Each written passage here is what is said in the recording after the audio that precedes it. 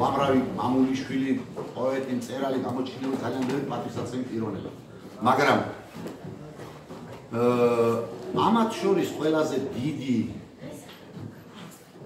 დიდი საერთო ქართული მნიშვნელობით ყველაზე დიდი მოღვაწე და შემოქმედი ჩემი საზრით არის ილია ჭავჭავაძე.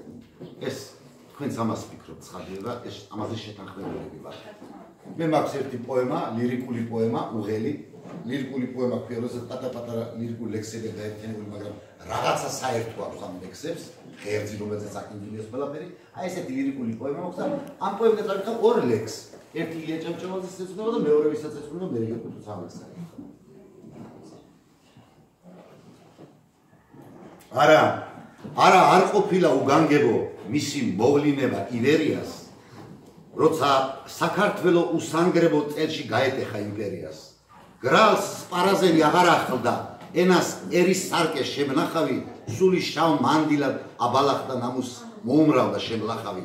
და მან ვით იესომ საკუთარი ხალხის სასიკეთოდ ჯვარზევნებით ძლავრად გამოშინგდა საკვეთარი ჩვენი დამონების მაძებრები და როს სამკაცო და შეძგომოდა ჩასხდნენ ციწამურთან დამარჯვებით და კვლავ გაუჭირდა შემოდგომა ლუხუმს გამარჯვებით ეს იყო